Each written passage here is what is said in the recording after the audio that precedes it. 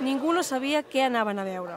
Una pel·lícula, un curt, les primeres imatges ens podrien recordar una típica pel·lícula de terror.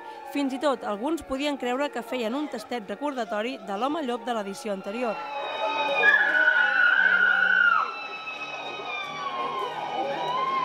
Però en realitat tothom va veure de seguida que el que veien és un videoclip musical, un videoclip que molts ja consideren una petita pel·lícula.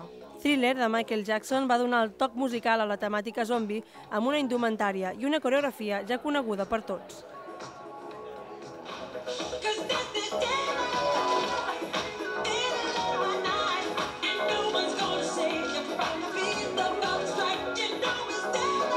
En acabar la sessió sorpresa es va projectar la pel·lícula Zombies Party.